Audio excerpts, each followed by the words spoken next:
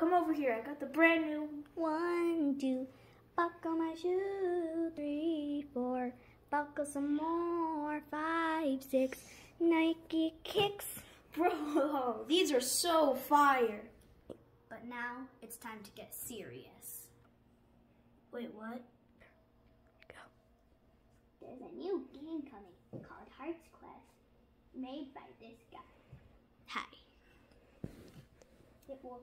We don't know the release date, but we'll tell you more later on. It's a it's a game with a big story to it. You can collect monsters, go on quests, and enjoy music they make. So there will be DLCs, updates, and way more. And you will have very much you will have much fun. And there's one more thing. Dan TM is in it. That's right. Dan TM. So please tell him. Bye. Hey guys, it's me.